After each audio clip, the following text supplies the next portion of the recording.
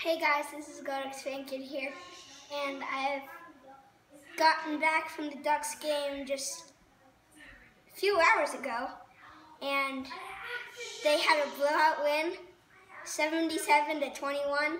Royce Freeman was the MVP of the game, and I am very confident about this year. Royce Freeman is back to his normal self again, and he is doing amazing like all the other Ducks. And their defense stepped up big the whole game, and Willie Taggart has really changed that. So, go Ducks, go Ducks, go Ducks fan kid out.